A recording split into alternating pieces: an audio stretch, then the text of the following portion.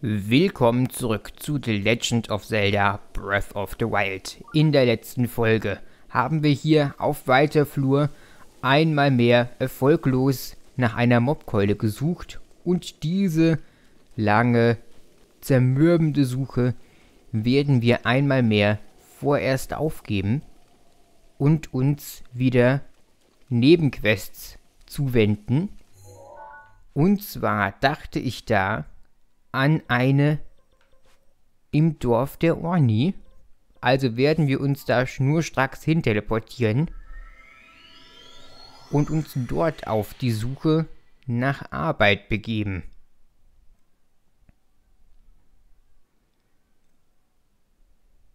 Doch dafür müssen wir natürlich erstmal den Auftraggeber finden, der sich hier irgendwo versteckt. Und zwar irgendwo. Oh, wie niedlich. Die fünf Küken des Dorfes singen bei Untergehen der Sonne. Sehr romantisch. Aber wir sind nicht gekommen, um den schönen Sonnenuntergang zu bewundern, sondern um zu arbeiten. Also auf geht's. Wir sollten hier fündig werden. Keine freien Betten brauchen wir. Nee. Wir suchen jemanden. Nur, wo sich diese Person versteckt, ist die Frage.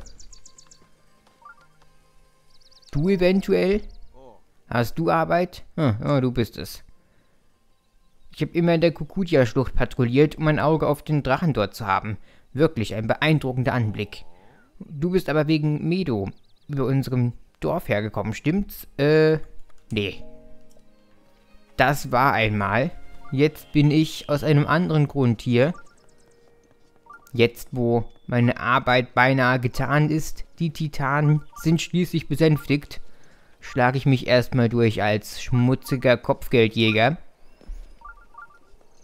Oder so. Aber das Spiel hat wirklich große Mühe. Oh, das hier alles zu berechnen. Bin ich schon zu weit draußen? Du solltest es sein. Ja, du bist es auch. Guten Tag. Du bist zu einem guten Zeitpunkt gekommen. Vor einer Weile hatten wir ziemlichen Ärger mit diesem Medo, aber das hat sich zum Glück gelegt. Hm? Wolltest du mich irgendwas fragen? Wie läuft so? Wie es läuft? Ähm, ha, so lala würde ich sagen. Ist dir auch egal. Hör mir lieber zu. Ich habe ihn gesehen. Einen Glazirock. Glazirock? Genau. Ein Koloss aus Eis. Ich gehe mir nichts, ich gehe mir nichts, dir nichts meines Weges. Da steht so ein Ding plötzlich vor mir. Hatte ich eine Angst. Er war irgendwo in der Richtung des Blizzardtals. Du kannst dir gar nicht vorstellen, wie groß er war. Einer der alten Recken hätte wahrscheinlich kurzen Prozess mit dem Ungetüm gemacht. Und da hast du ja Glück, dass ich auf der Suche nach einem Job war. So. Mehr Details bitte im Blizzardtal. Gesahne Wächter im Dorf der Orni glaubt, einen Glazirock im Blizzardtal gesichtet zu haben. Siehst du dort einen Glazirock, sollst du versuchen, ihn zu besiegen.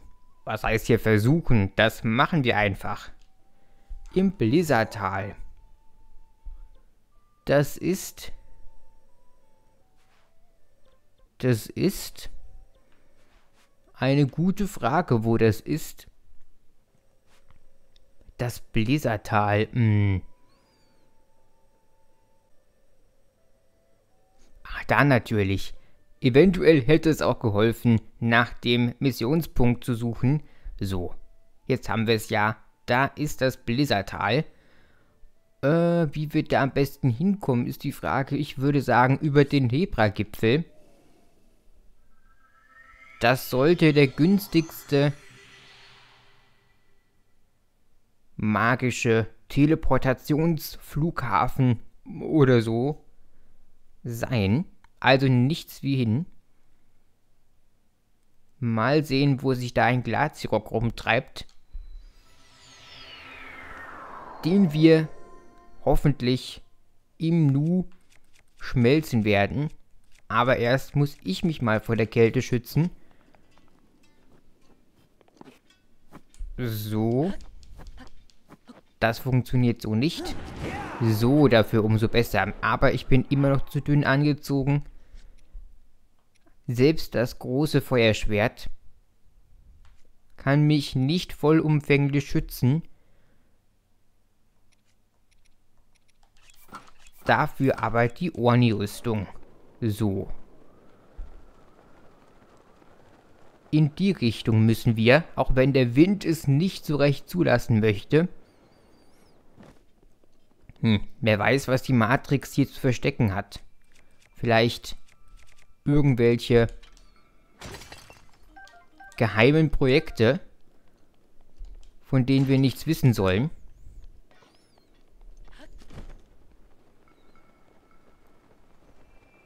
Hm. Oder vielleicht einen unfertigen Ort, der die Matrix zum Zusammenbruch zwingt, wenn wir ihn betreten. Wir wissen es nicht, was wir dafür umso besser wissen, ist, dass unser Ziel direkt unter uns liegt. So, Moment, aber zunächst einmal könnte es durchaus helfen, das andere Gesindel hier loszuwerden. So, ohne dabei gänzlich unsere Ausdauer zu verbraten. So und so. So, hallo. Mist. Gemein. Frechheit, dass sie sich nicht einfach brav abschießen lassen. Hm. Natürlich müssen jetzt auch noch Untote dazukommen. Sehr, sehr nervig ist das. Na, kommt schon her. Macht es doch nicht noch komplizierter und langwieriger. Wirklich helfen wird es euch nichts. So, Moment. Ungut. Ungut.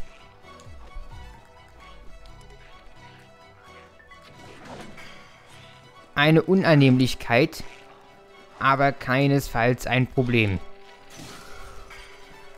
So, Moment.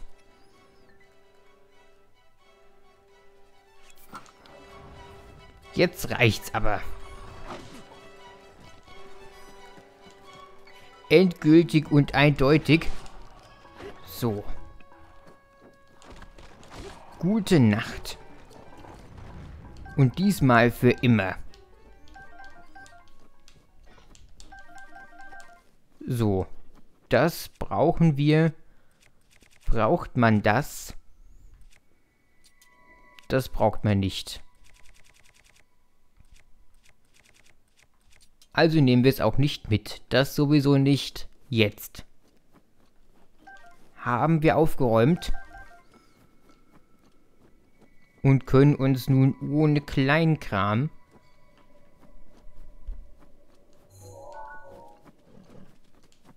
auf die Suche begeben. Ach, da ist er. Ich dachte, aus dem wird er auferstehen, aber nein. Da ist unser Glazirock. Nicht wahr? Wohl wahr. Nicht wahr? Wohl wahr. Doch. So. Ein kleiner Ritt auf ihm zur Begrüßung ist ja eine Frage der Ehre. Das war ungut. Ah, verstehe. Ich kann nicht so einfach auf ihm rumspazieren. Gut zu wissen. Macht aber auch nichts. Ich sollte aber langsam mal ein bisschen Nahrung zu mir nehmen. Eventuell. Auch wenn es natürlich nicht unser erster ist, sollten wir mit diesem Herren nicht allzu leichtfertig umgehen. Denn ein Game Over müssen wir nicht unbedingt riskieren. Wegen solch einem gewöhnlichen Vieh. So. So macht man das. Wunderbar. Ein kurzer, schmerzloser Schnitt durch die Aorta. Oder so. Oder so ähnlich. Das wäre das gewesen. Wir können nun also zurück zu unserem Auftraggeber reisen und die freudige Nachricht verkünden, dass hier jetzt kein Glazirock mehr rumspukt.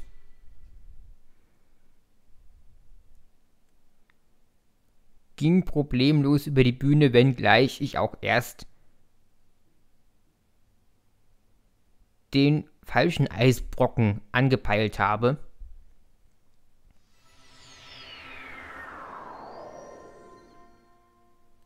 Aber der erste war ein bisschen zu groß für einen Glazirock. So. Huch? Nee.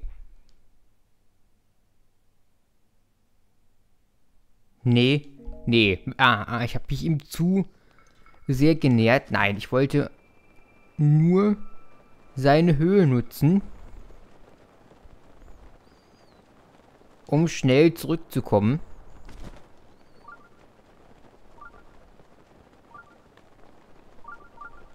Zum Orni, der mich beauftragt hat, auf Kopfgeldjagd zu gehen.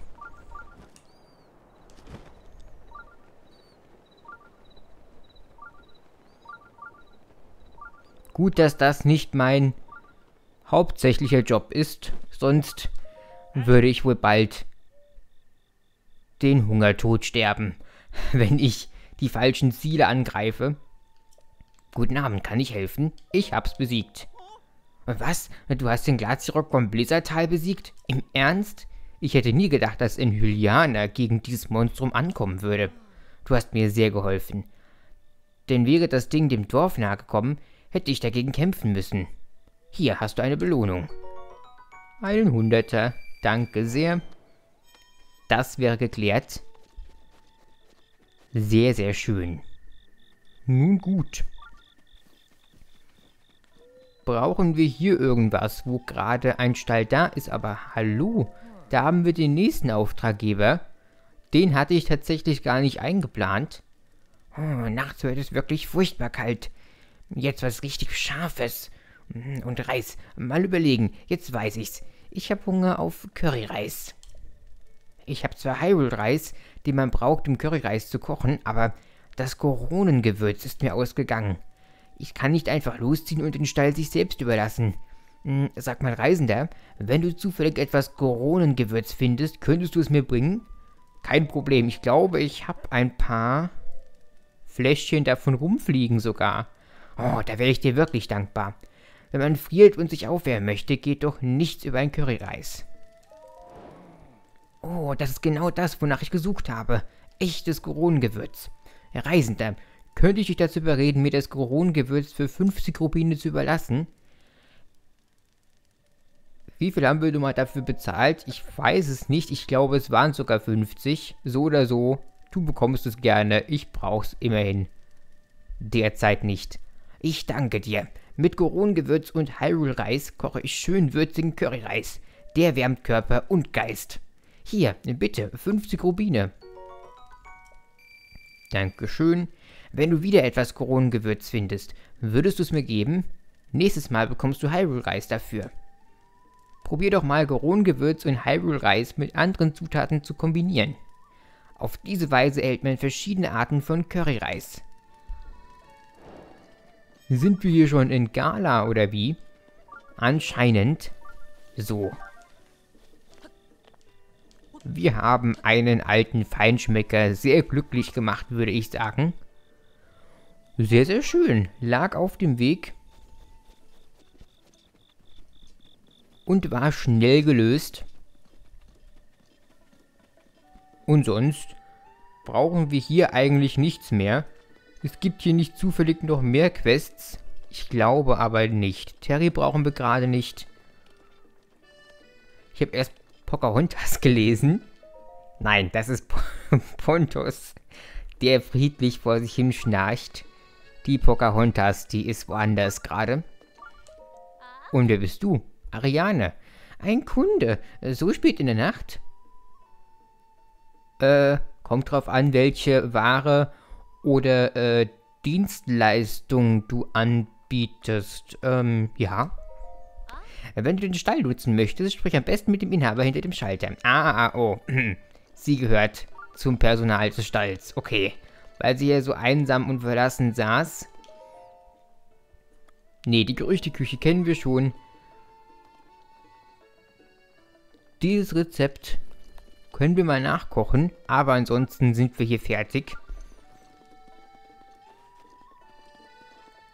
Diese Hirschkuh darf sich weiter ihres Lebens freuen. Die Beeren können wir noch ernten, aber sonst haben wir es geschafft. So, wo geht's als nächstes hin? Ich würde sagen, es verschlägt uns als nächstes.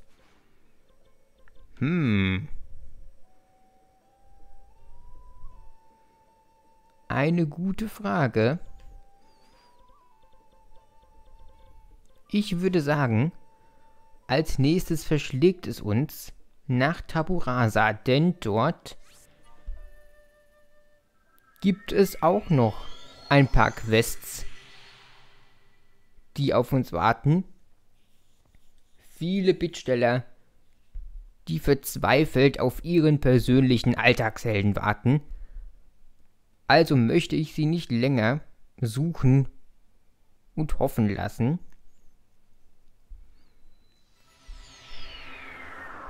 Sondern begebe mich direkt dorthin. Mit unserer guten Tesla mal wieder. Ah, nee, richtig. Die ist ja gerade noch im Stall. Äh, dann mit dem Eponator Zero. Das hätte ich machen können am Stall, stimmt. Das ist mir auch früh genug eingefallen, nicht? Ich hätte Tesla wieder rausholen können. Die steht jetzt schon seit längerer Zeit einsam und verlassen in ihrer Box und schimmelt vor sich hin. Nein, hoffentlich nicht. Und bei nächster Gelegenheit werde ich sie auch wieder rausholen um sie bald wieder unter meinem Gesäß zu wissen. Oder so. Oder so ähnlich. So, uh, das, ähm, jetzt bauen wir auch noch unseren Mist. Unseren ersten richtigen Eponator-Unfall. Ohne Verletzungen davon zu tragen. Das lief doch gut. Ach, guck mal.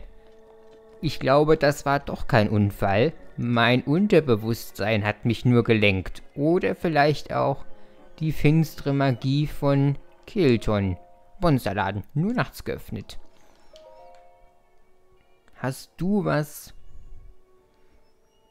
anzubieten, was ich gerne hätte? Hm, meine Nase müsste sich sehr täuschen, wenn sich hier kein Ivarok rumtreibt. Ah, noch schlimmer, das ist ja wieder dieser Kerl. Hm, ja, nicht allzu viel Money haben wir. Gibt es was, was ich unbedingt bräuchte? Dieses Zeug wäre auf Dauer halt schon mal nett. Aber, ach, gerade nicht.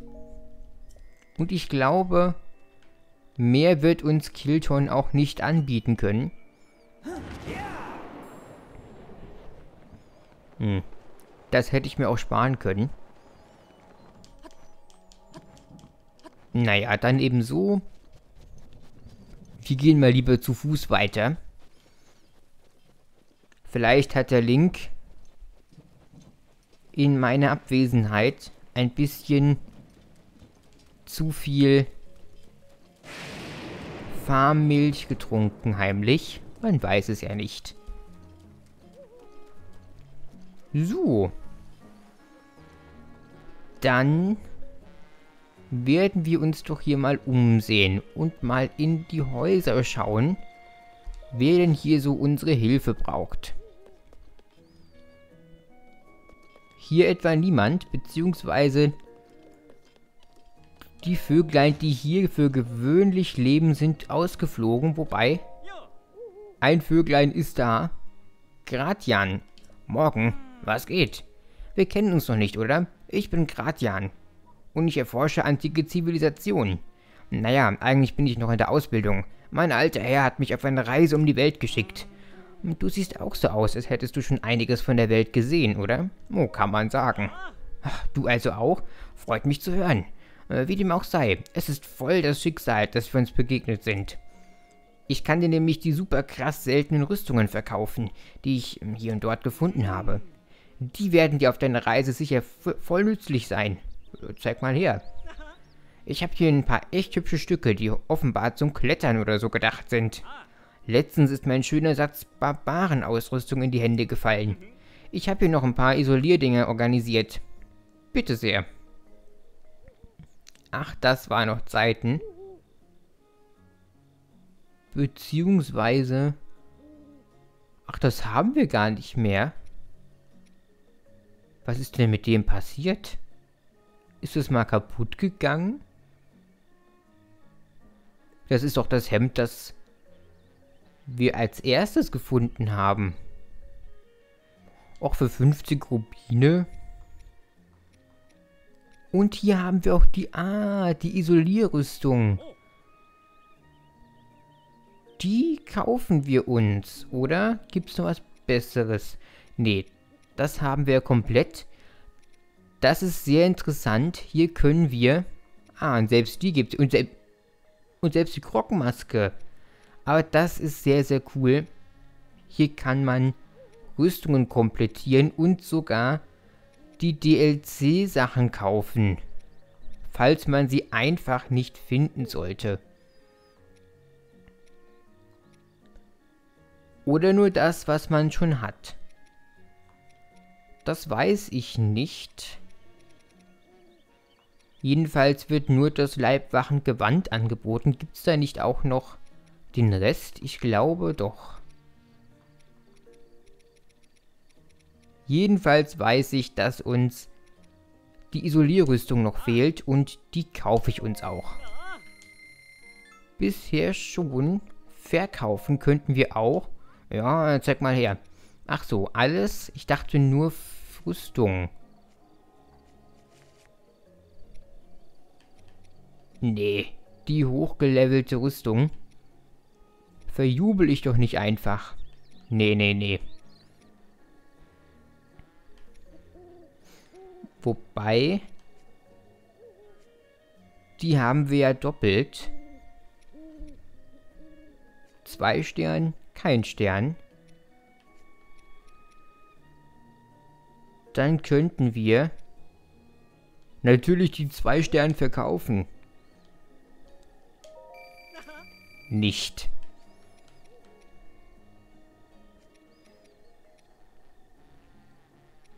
Und sonst haben wir alles nur einmal.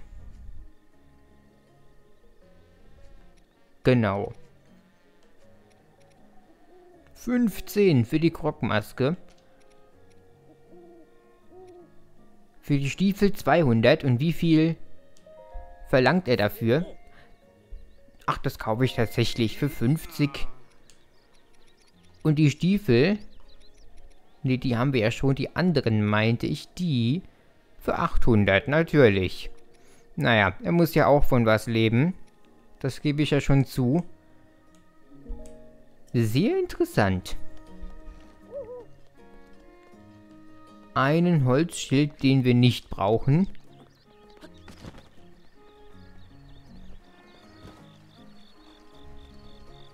Da sind die mittlerweile nicht mehr ganz so frisch vermählten.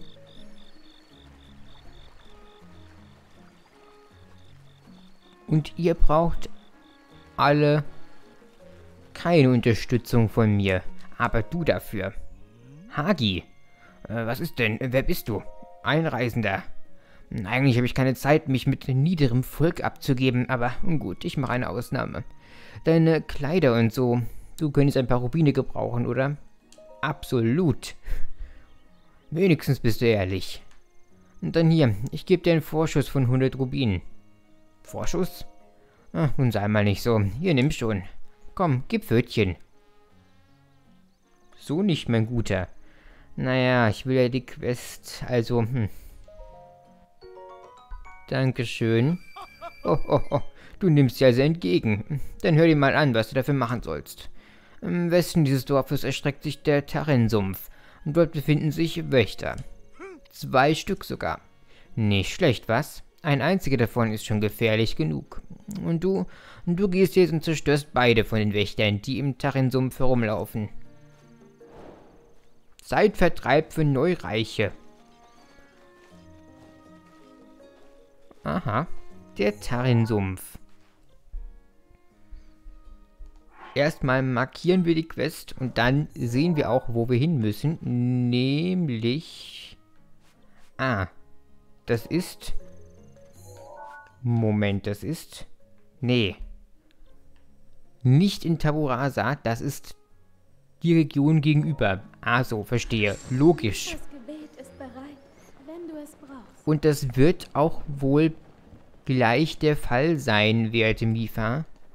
Was wir auf jeden Fall tun, alles andere wäre Selbstmord, ist unsere Rüstung, die werden wir anlegen. Und zwar die Kampfesrüstung. So, die Kapuze fehlt noch. Wo haben wir sie? Wo haben wir sie? Ganz dramatisch ist auch die Musik verstummt. So, das wär's. Jetzt können wir beginnen. Da sehe ich den ersten. Wo haben wir den zweiten? Da. Okay. Die sind relativ nah beieinander. Oh, es muss natürlich gewittern. Guess what? Dann versuchen wir so gut es geht dafür zu sorgen, dass die beiden einzeln gegen uns kämpfen müssen. Dafür locken wir den hier mal so gut es geht von uns weg. Äh, von zu uns hin, so rum. Das machen wir mal so. Dann kommt Mifa zum Zuge. So, jetzt legen wir nochmal selber Hand an.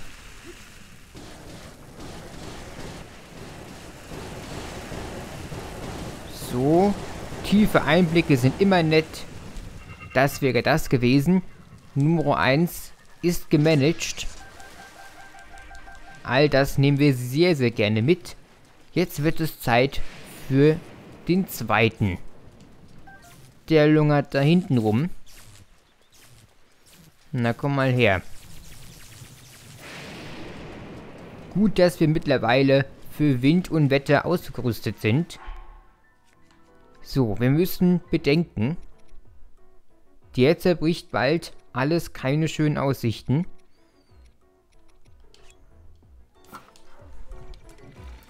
Und unser Schwert ebenso. Bei Regen ist das eher blöd, ist mir auch gerade aufgefallen. Dann doch Holzpfeile. So. Direkt umsatteln.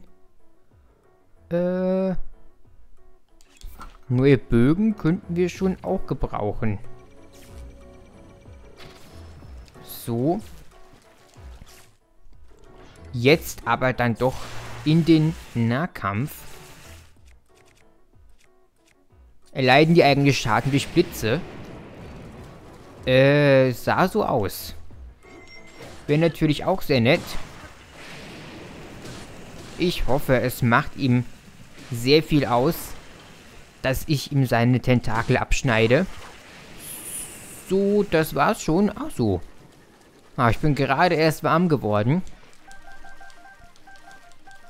Sehr, sehr nett. Damit wäre auch das gegessen. Ging doch wirklich problemlos über die Bühne, muss man sagen. Es spricht ja nichts dagegen, die Wiese noch ein bisschen abzugrasen.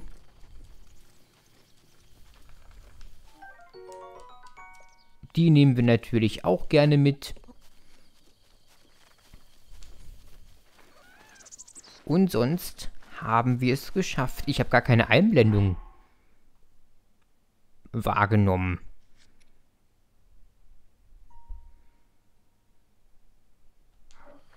Aber wir haben getan, was uns befohlen wurde. Von diesem arroganten Kerl.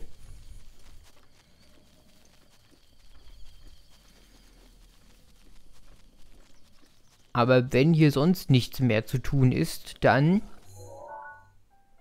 zurück zu diesem Schambolzen auf dass wir nie wieder etwas mit ihm zu tun haben werden. Doch um uns von ihm loszusagen, müssen wir erstmal die Quest beenden.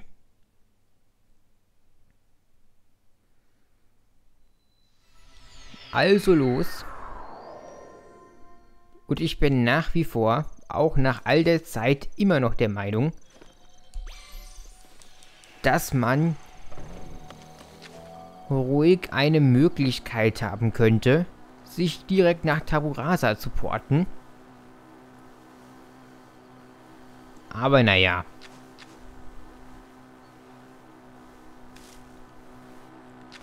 Es tut auch mal ganz gut zu reiten oder zu, eben zu fahren. Nachdem wir uns ja wirklich sonst nur von A nach B und wieder zurückporten da ist es auch nicht schlimm, sich ausnahmsweise mal auf die altmodische Art und Weise fortzubewegen. So, nur die Ausfahrt darf ich nicht verpassen. Ist mir auch schon oft genug passiert. Oh, meine Lieblingsjagdmethode ist so gut und zuverlässig, dass sie sogar funktioniert, wenn ich nicht mal be... Achso, Deponator ist verschwunden. Ich dachte schon, ein Giga wäre aufgetaucht dass sie mir sogar Fleisch bringt, wenn ich nicht aktiv jage. Hallo Lani. Verzeih, ich bin so glücklich, dass du mit mir sprichst. Eine Reisenden, die Monster sucht und einen Weggefährten.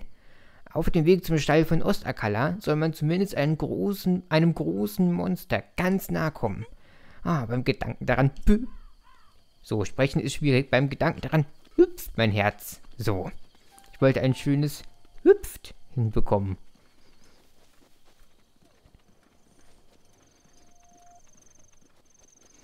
Und wir hüpfen jetzt nach Taburasa. Zorn ist bereit, entfesselt zu werden.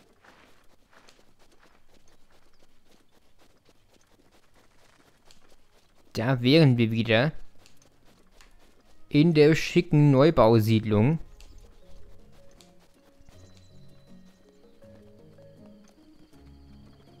Nur echt. Im Bauhaus-Look.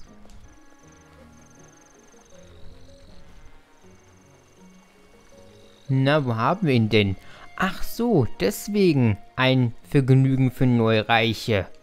Der Herr hier hat sich das Spektakel die ganze Zeit von hier oben aus angesehen. Ah ja, seine privaten Gladiatorenspiele veranstaltet hat der werte Herr. So, so also. Dann wollen wir mal wie Gladiatoren in den Ring steigen. Was sagst du? Oh, du bist es nur. Möchtest du was von mir? Äh, ich hab sie zerstört. Ja, ja, ich weiß Bescheid. Du hast beide Wächter zerstört, die im Tarrensumpf herumgelaufen sind. Wie versprochen, gebe ich dir den Rest deiner Belohnung. Komm, gib Pfötchen.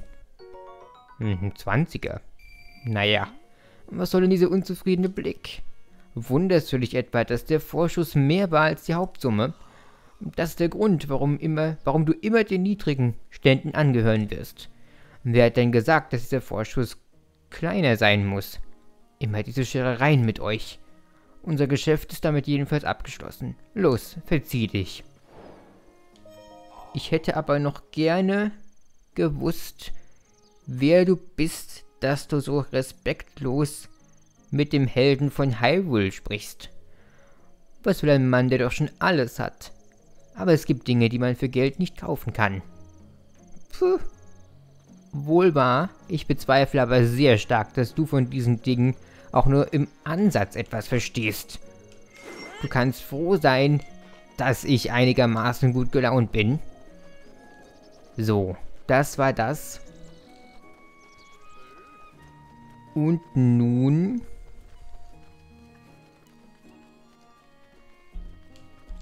werden wir nicht um ein kleines Päuschen am Lagerfeuer kommen, aber zuerst können wir noch mit ein paar Leuten reden. Oh, guten Tag. Kann ich Ihnen helfen? Sonderlinge?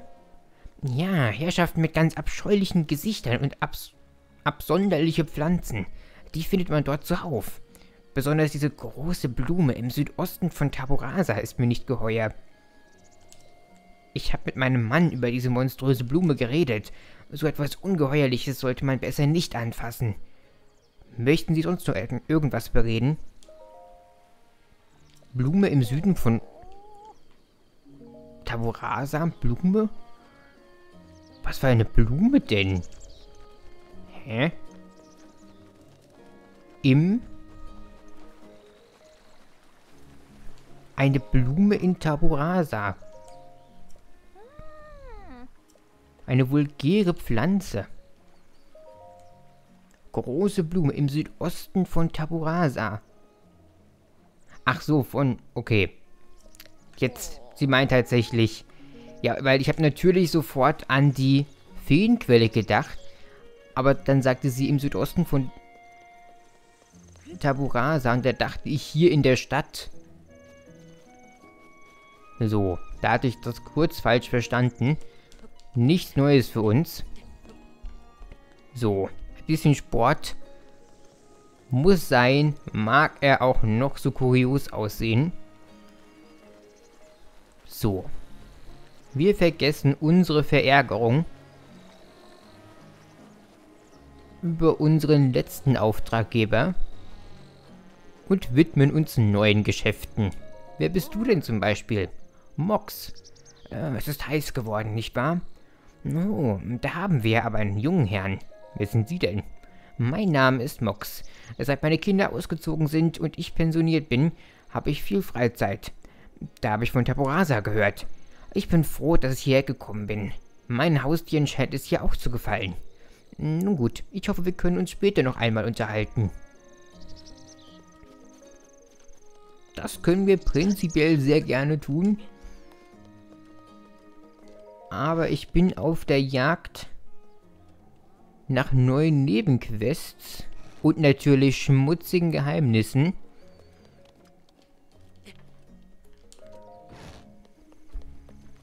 Jeglicher Art.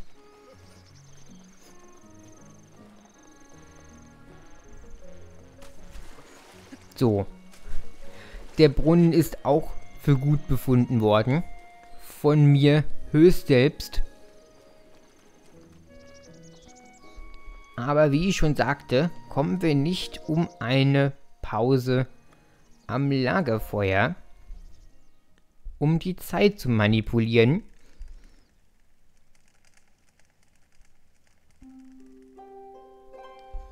So nämlich. Weil es hier eine Quest gibt, die nur zu später Stunde soweit ich weiß, sogar zu einer ganz bestimmten Stunde nur gelöst werden kann. Wie man darauf kommen soll, ohne davon zu wissen, ist mir schleierhaft. Hoffentlich finden wir sie auch gleich. Gleich müsste es soweit sein. Hm. Wir brauchen bloß das richtige Haus.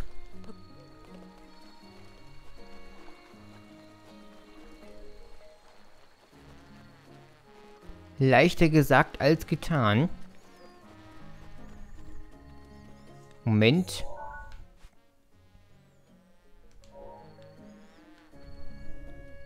Wir sollten es dann gleich sehen.